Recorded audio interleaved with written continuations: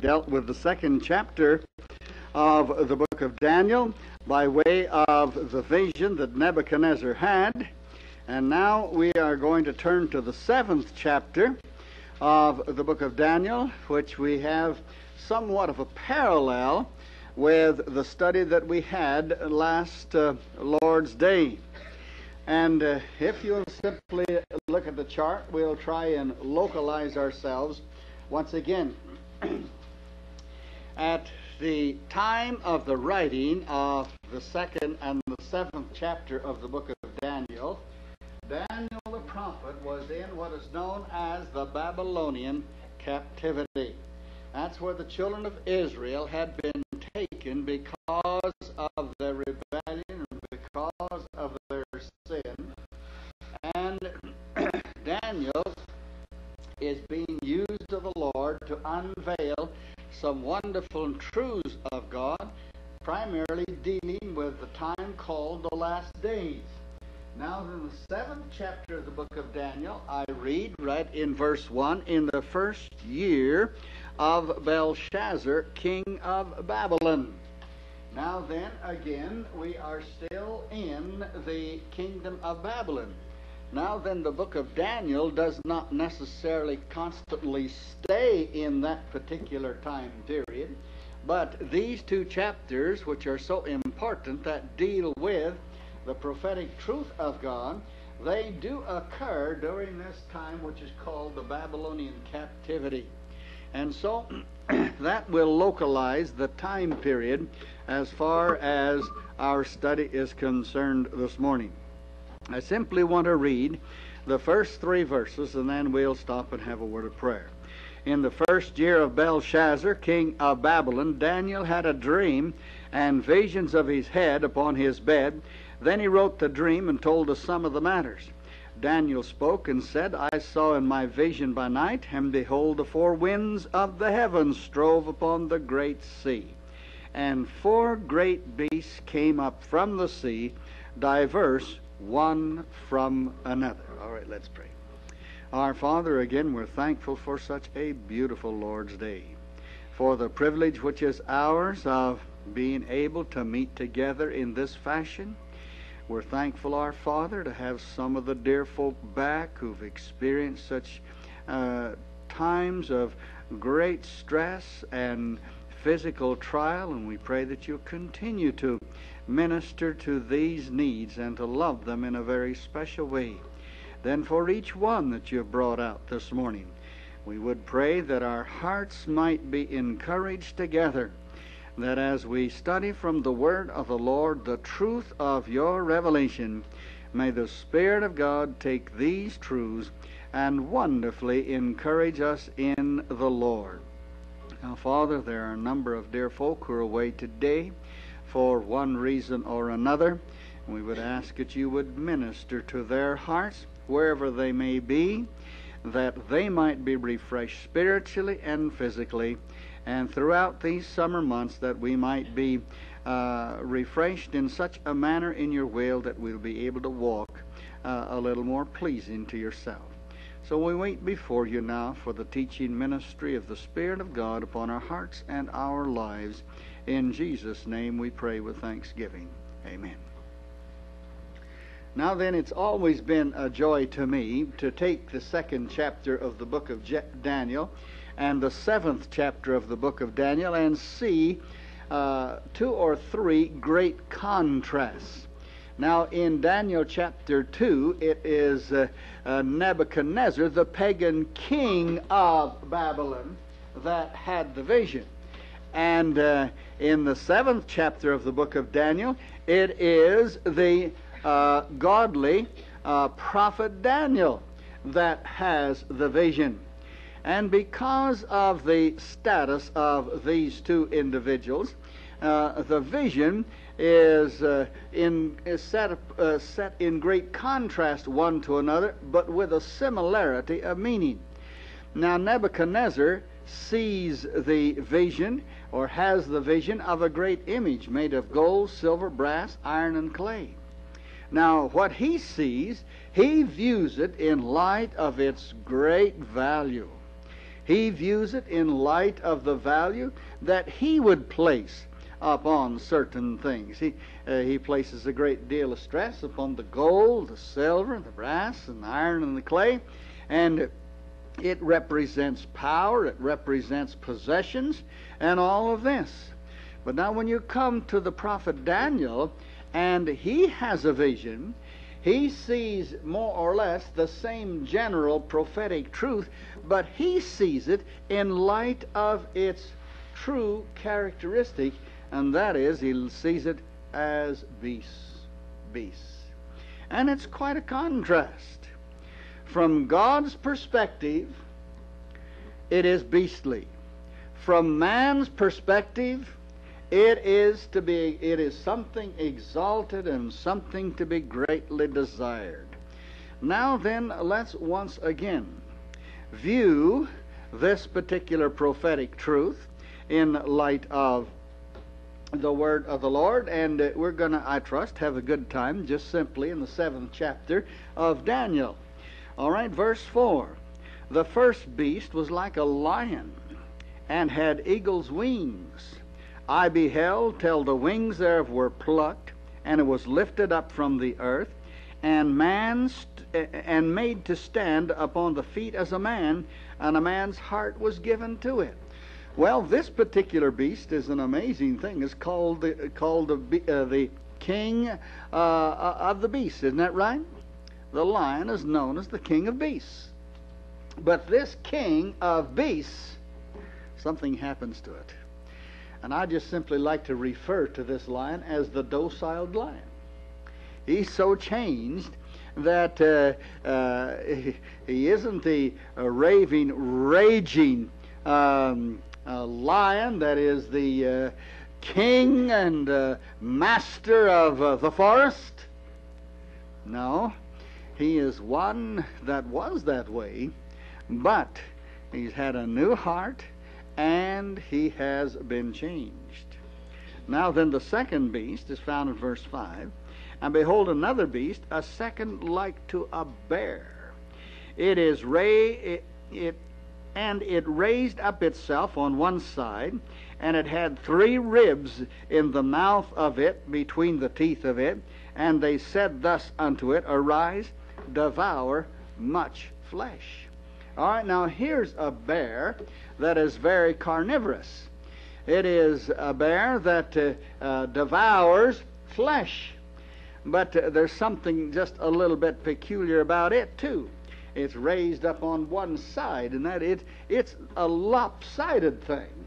It's a, it's a kind of a bear. If you take a look at it, why, he'd be loping along, but he'd be loping along in, in a, a manner that uh, it'd flop around and flop around and flop around because it's off balance, it's raised up on one side, and we're going to see something about that a little bit later.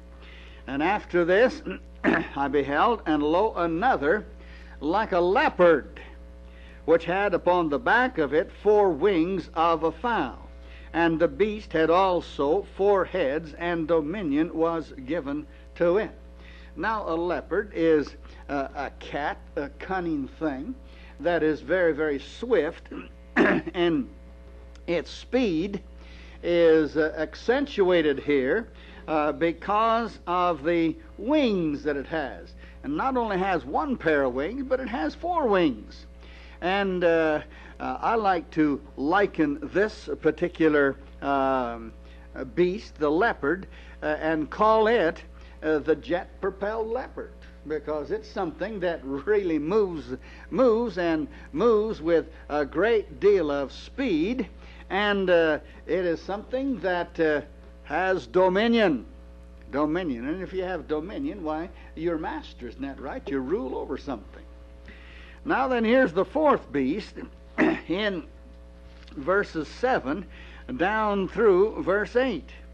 Now, here is something that uh, is an amazing thing, and it's one that occupies the greatest attention of, the, of Daniel as he has this vision. After this I saw in the night visions, and behold, a fourth beast. Now notice something about it. It's dreadful and terrible and strong exceedingly, and it had great iron teeth. It devoured and brake in pieces, and stomped the residue with the feet of it. And it was diverse from all the beasts that were before it, and had ten horns. I considered the horns, and behold, there came up among them another little horn, before whom there were three of the first horns plucked up by the roots. And behold, in this horn were eyes like the eyes of a man, and a mouth speaking great things. Well, as far as this fourth beast that Daniel sees in the vision, there isn't any beast upon the face of the earth that he can liken it to, is there? We do not have a similarity of beasts upon the earth that he can say, well, now this is like a unicorn, or this is like a giraffe, or this is like such and such. No, there isn't a beast on the earth that has any particular characteristic to it that this fourth beast can be um, associated with. So, this fourth beast is not known by identity as far as the beasts of the field are concerned. This fourth beast is noted by its character. Its character. And this is so very important as you understand it in light of prophecy. And the first thing, as far as its character is concerned, is that it is a beast with a very, very terrible, horrible, awful character. A beast that's dreadful, terrible, and awfully strong. Very strong. So, what beast is there that can be likened to this fourth beast? Now, I suppose one of these days Hollywood is going to make a movie if someone uh, ever gets to the book of Daniel, and starts reading the book of Daniel, and so they'll probably devise some kind of a hideous thing uh, to uh, illustrate this fourth beast. But be that as it may, whatever is ever uh, looked at as far as the fourth beast is concerned, it is something that is beyond description by way of being terrible. Now then, he gives us in the next clause uh, something about its appearance. Well, it has great iron teeth. Well, this particular beast, I don't know uh, what dentist he went to, but uh, he, he, he got uh, a, a, new set of dentures, didn't he? And uh, this set of dentures is made out of iron. And um, uh, terribly iron teeth. Now, then, the second thing I know about this terrible creature is his actions. It devoured and it broke in pieces and it stomped the residue with the feet of it. Well, with these iron teeth, there wasn't anything that it couldn't eat, it couldn't devour. And then it also just simply snapped things and broke them up. And then you have the trampling feet. He just stomped the daylights out of that which was left. And uh, then I noticed something about its composition from here on out. And it was diverse from all beasts before it. Well, it's different from the lion, it's different from the, from the bear, and it's different from the leopard. It's, uh, it's uh, a, a, different uh, beast in light of its character from the three which has just been mentioned. Now then, it had ten horns. This terrible, dreadful, exceedingly uh, uh, awful beast. It's got ten horns to it. And he said, Now, uh, I looked at those ten horns. Those ten horns uh, took my attention. And uh, it says, Listen, there came up among those ten horns another little horn.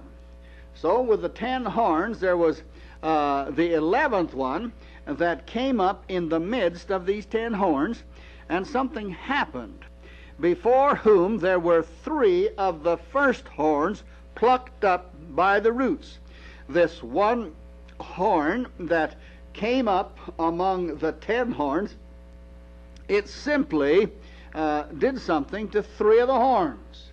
Uh, there wasn't enough room, And uh, so this one horn uh, simply obliterated uh, the other three horns. And now let's let's let's look at this little horn. This one horn that comes up. It's a, it's an amazing horn.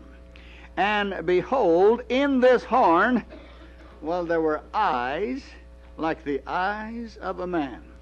Now this is a, this is a hideous thing, isn't it? There's a horn. Uh, if you go out there and take a look at Abraham, our bull, why there isn't any, there aren't any eyes in, in his horns. Now. Um, uh, we we didn't have the fence up, and uh, uh, they were pushing the corral and knocking the things off of the corral, so we just turned them loose and put the van across for a gate. And you can see some of the results of it as you look around the chapel. But uh, old Abraham, uh, he came over here at the chapel, and uh, it wasn't because he wanted to go to church or anything, but he found this little tree out here. Well, you know what he did to that little tree. You just take a look at it and see what he did to it. He took those horns and uh, he, he just uh, uh, made that tree look a lot different than it used to look. And uh, uh, he, he can use his horns. But I'll tell you, I'd hate to see a big horn that's got that's filled with eyes. And those eyes can look and see and so forth. And then on top of the eyes, there was a mouth. It also had a mouth, and that mouth was very busy. It spoke great things. Well, here are four hideous beasts the lion, the bear, the leopard, and the fourth beast with ten horns that lost three but gained another that has eyes and a mouth, and it would speak great, great messages. Well, his view changes now. As Daniel looked and saw these four terrible beasts, he said, I want to tell you about something else I saw. Well, I beheld, or I watched, and I looked till the thrones were cast down. Well, we're talking about a throne, and a throne involves a king, isn't that right? All right? Something is referred to in this verse as kings in a context which precedes it. Now then, in place of the kings and the Ancient of Days did sit. Well, we're going to find out something about the Ancient of Days in light of this context, whose garment was white as snow. All right, the Ancient of Days is present and he has a robe of snow white garments, and the hair of his head was like pure wool, and his throne like the flaming fire, and his wheels as burning fire. My, here's a here's a, a scene with one of all purity, perception, fiery flames, burning fire, and what does that relate to? Well, we're going to see in verse 10. A fiery stream issued and came forth from before him. Here's a fire that comes out from this Ancient of Days. And I'm told thousand thousands ministered unto him, and ten thousand times ten thousand stood before him the judgment was set and the books were opened. Now I know something about the one that's called the Ancient of Days here. He's sitting on a throne, but it's a throne of judgment. It really is. And there are thousands that are ministering to him, and there are many others that are standing before him. Here is a time of unparalleled judgment. And he judges according to books. The record is open before him. And then Daniel said, All right, I kept watching. And I watched then because of the voice of the great words which the horn spake. And I went back and I looked at that horn in view of this terrible judgment, And he said, I heard some things that this horn spoke.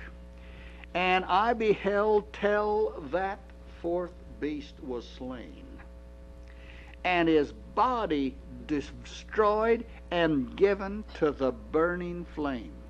That fourth beast, with all of its horns and everything, with all of its greatness of its message and perception, was judged. And it says, as concerning the rest of the beasts, the other three, they had their dominion taken away, yet their lives were prolonged for a season and a time.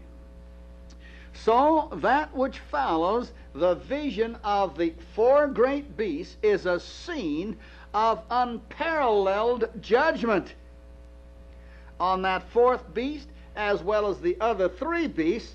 Why, they are destroyed also. Then, when I come to verses 13 and 14, Daniel says, I want to tell you something else that I saw.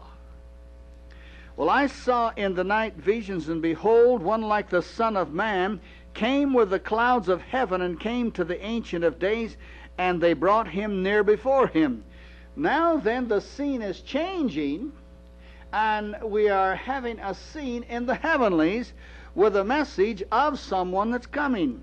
And there was given to him dominion and glory and a kingdom that all peoples, nation, language should serve him. His dominion is, is an everlasting dominion which shall not pass away, and his kingdom that which shall not be destroyed. So, what Daniel sees in the heavenlies, and his scene just changes, but uh, there's some similarities here. But he sees in the heavenlies another person called the Ancient of Days, which is not necessarily the same in verse 9 but the Son of Man associated with the Ancient of Days in the heavenlies, and that person is given a kingdom which is an everlasting, eternal kingdom. Now, I'm learning some things by way of just the plain vision. I have learned that these beasts are those that have kingdoms, dominions. I also learned that those kingdoms are judged. I also learned that there's one who comes whose kingdom is forever.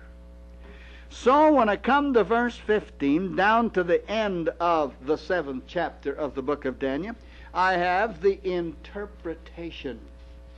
I have the meaning of it. Well, let's just look and find out what the Bible says by way of an inspired interpretation of this vision. And notice the reaction that Daniel had in light of the vision.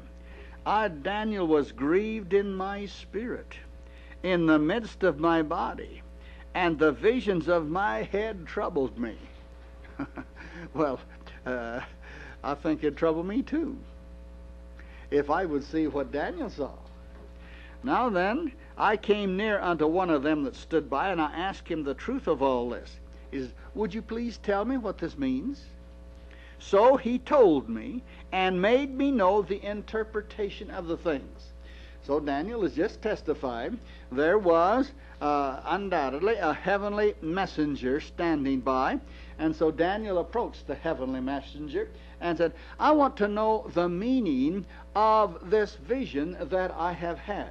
He said, All right, I'm going to tell you, give you the interpretation of this vision.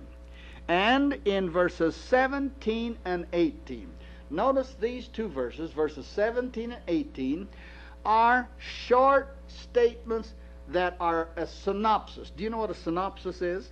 A synopsis is simply a short statement of a book that tells you in a, a paragraph, maybe a, a, page, such a matter as that, uh, what the book is all about.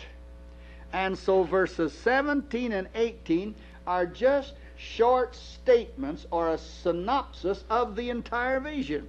So, verse 17 turns his attention to the vision of the beasts. These great beasts which are four are four kings which shall arise out of the earth. Now then, as far as the beasts are concerned, There are four kings. Four kings.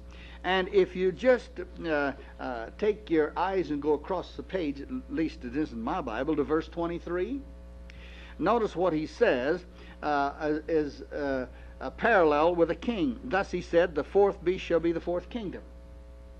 So you're talking about beasts that represent kings on the earth which reign over a particular kingdom. From Daniel's point of view, he's standing here. There's one kingdom, there's another kingdom, there's another kingdom, and there's another kingdom.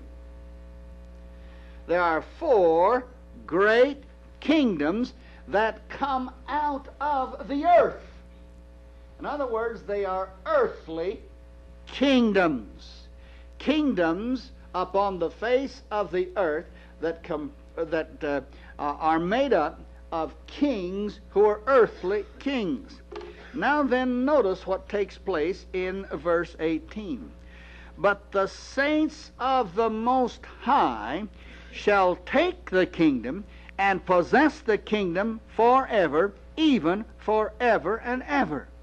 All right, now then, at the conclusion of those four earthly kingdoms, at the end of them, there are a group of people who are known as the saints of God.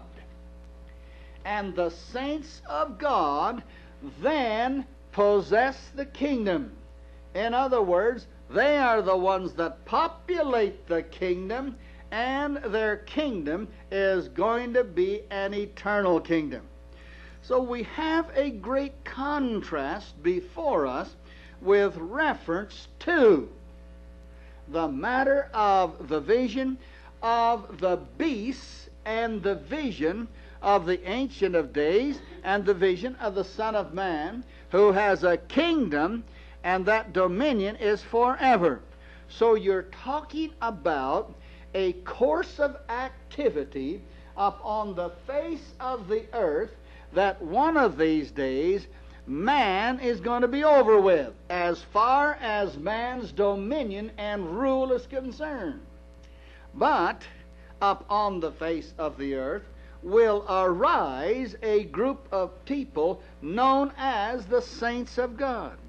Now, it is wonderful to know something in this connection. Man may rule, but man's rule is going to end one of these days.